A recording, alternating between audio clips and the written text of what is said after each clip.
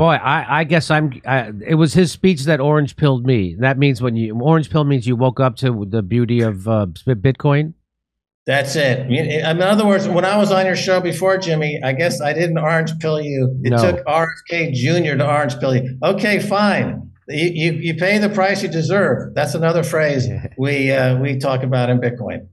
So yeah, now I'm super interested in Bitcoin now, and now I realize it's it's uh, essential that Bitcoin is essential for democracy and freedom in the 21st century because what he referred to as these turnkey totalitarian systems and what that so they can just if they can control your money like they did to the truckers they they got you. Now you can't travel you can't go to work. You can't pay. You can't do anything. You can't buy gas to get in your car. You can't pay your mortgage. You, they got you. So now they have. They can control you, and so they can stop you from protesting. They can stop you from uh, uh, petitioning your government. They can stop you from doing whatever you are doing.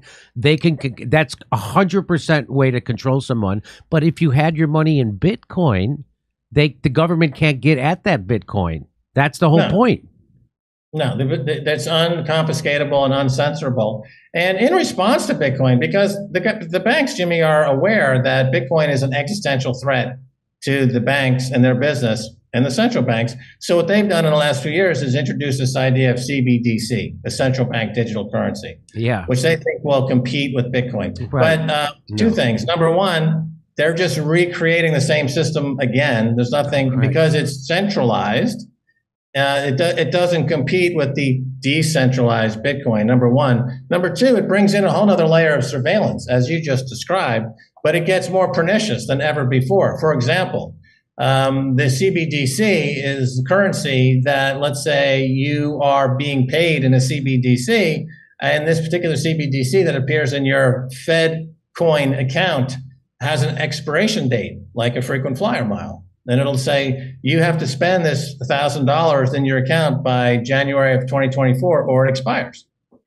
And the reason they would do that is to force consumption because the American economy is essentially a consumer economy and the consumer is essentially highly indebted. Um, so they have to figure out a way to keep the consumer in debt and to keep consumption rolling and so by having a currency that expires like a frequent flyer mile, they can trap people into an endless cycle more so than they are already. Most people are already in a, a debt cycle and people have no savings. I think the average American has maybe one or two months of savings. You know, if they suddenly lost their income, they maybe have one or two months before they're completely bankrupt. So this is the way the banks like it because they end, you end up going to them to borrow, and the average rate on credit cards has never been higher. It's something like 24%, which is extortionary, which is incredibly high, which is usurious, which is it was illegal in many. It should be, it has been illegal, and but here, you know, just so you get some context, Jimmy, I know I'm talking to you from El Salvador, where I live with Stacy, my wife, and they made Bitcoin legal tender um, um, last year, and the the economy has thrived, and the president Bukele has embraced Bitcoin. He has been orange pilled by Bitcoin, and he has essentially uh, passed on those benefits to the population that is now thriving under a Bitcoin standard. So El Salvador, believe it or not, is leading the world in monetary reform with Bitcoin as legal tender, and this is uh, really spreading all over the region. So Central America is becoming a, a really a, a, bastion of liberty and freedom. Uh, President Bukele's policy is, is economic freedom. And uh, this is spreading now to the other five Central American countries. And of course, you see pockets of this all over the world in Africa and Asia and Europe.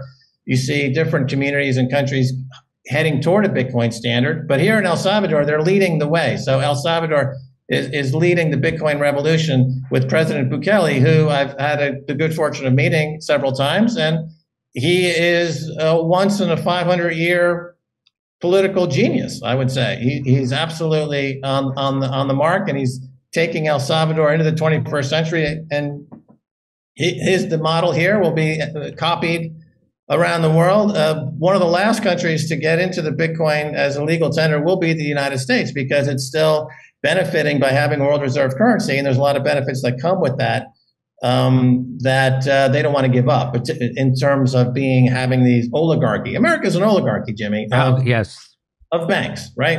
I mean, America makes fun of Russia for having oligarchs, but you know, Russia's got nothing on the America No. oligarchs. Jamie Dimon is an oligarch, and so are the five or six bankers that run the entire system, as are a few of the big pharma, big energy. Right? That's an oligarchy, Jimmy. Those are oligarchs. That's right.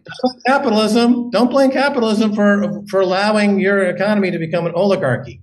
That's right. Uh, we've so we've made uh, that message here on this show. Uh, your people point to January sixth of them trying to steal our democracy, and I have to remind people your democracy was stolen from you decades and decades ago, which is why workers haven't had a raise since 1980, and half the country can't afford a four hundred dollar emergency, and eighty percent of workers live paycheck to paycheck. Uh, that's that's that, that that doesn't happen in a democracy. So we don't live in a democracy. We live in an oligarchy, which is correctly you point out, and it was proven by the Princeton study.